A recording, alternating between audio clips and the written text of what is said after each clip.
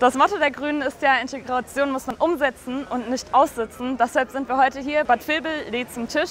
Eine offene Gesellschaft, eine Tafel der Toleranz. Wir kommen alle zusammen, teilen unsere Leckerbissen und unsere kulinarischen Köstlichkeiten miteinander und kommen ins Gespräch miteinander und probieren so auch Integration umzusetzen. Katrin Anders ist eine sehr gute Kandidatin für die Wetterau. Sie kommt von hier, sie kennt sich mit den Problemen und Belangen der Wetterau aus.